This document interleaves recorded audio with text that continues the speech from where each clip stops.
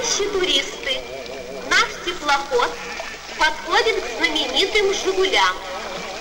Обратите внимание на красоту берегов. «Жигули» издавна славились необыкновенной растительностью и удивительным животным миром. Одну минуточку, товарищ экскурсовод. Эти кадры мы уже видели в номере 66 нашего журнала. Помните? Тогда мы рассказывали, что заповедным, всемирно известным «Жигулям» грозит уничтожение. Уникальная растительность вырубалась на дрова. Разбегались животные, потревоженные взрывными работами. Овеянные легендами курганы превращались в карьеры по добыче камня. Это интервью дает начальник управления лесного хозяйства Куйбышевского облсполкома товарищ Прокопов. Фитиль номер 66 за 1968 год по сохранению комплекса природы «Жигулей» произвел сильное впечатление на всех трудящихся области. Прошло уже два года с момента выхода журнала. Оперативности, с которой Министерство промышленности строительных материалов СССР и другие заинтересованные организации откликнулись на наше выступление, можно только позавидовать. Они обещали принять решительные меры и, как вы сейчас убедитесь, приняли их. Вы видите? Два года назад здесь вырубался уникальный реликтовый лес. Сегодня все работы прекращены. Почему же у лесничего Жигулевского заповедника такое неважное настроение?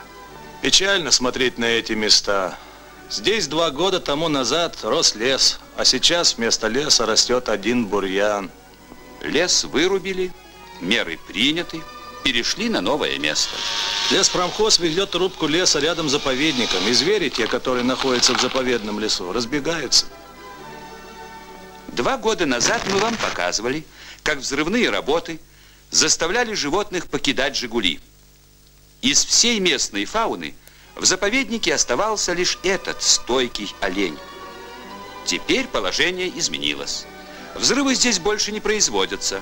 Меры приняты. Взрывы сотрясают «Жигули» в других местах, буквально рядом. Особые протесты общественности вызвало уничтожение Царева кургана и других исторических мест, где были сооружены карьеры по добыче камня. Министерство промышленности строительных материалов Российской Федерации сообщило нам – Министерство наметило в 1969-70 годах закрыть карьеры Царев-Курган, 41 километр, и осуществить благоустройство их территорий. Это обещание выполнено досрочно. Меры приняты. Царев-Курган срыт до основания. Карьер перенесен на новое место. И «Жигули» по-прежнему превращаются в горы стройматериалов. Кто же создает эти горы? Мы создаем эти горы. Работники карьеры управления. Какого? Жигулевского карьера управления. Когда же «Жигули» примут прежний вид? Ну, я считаю, через 15-20 лет. Не раньше.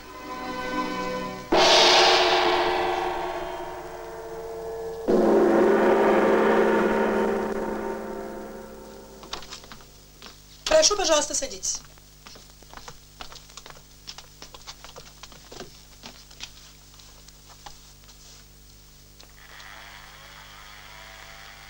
Откройте рот. А. Так, хорошо. Здесь болит? А. Здесь? А. А где болит? Ниже. Где ниже? А, вот тут коленка. Какая коленка? Левая. Гражданин, вы, наверное, ошиблись.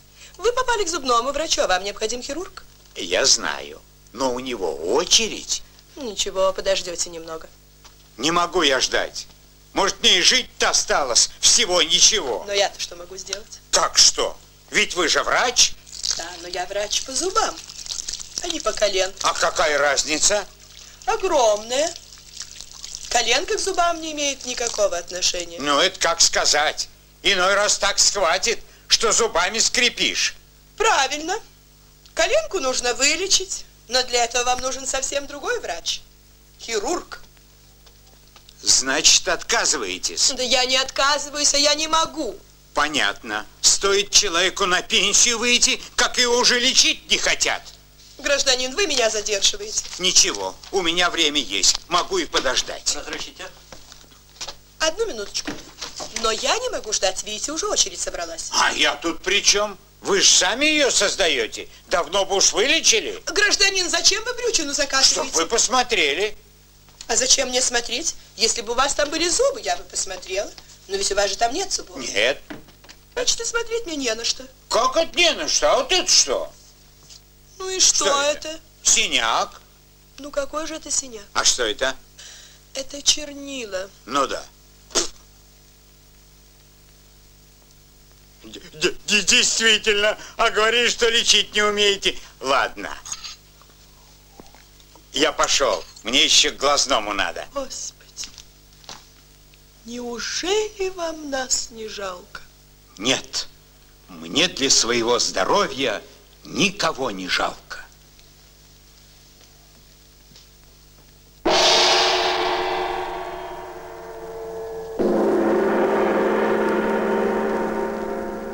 Кто больше? Аукцион. Пушной аукцион.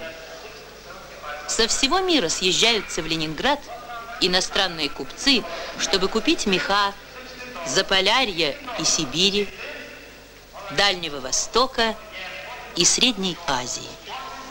Кто больше? Кто больше? Прекрасный аукцион, прекрасный каратель. В следующий раз опять приеду. Я приезжаю за каракулем уже не в первый раз. С вами можно выгодно торговать.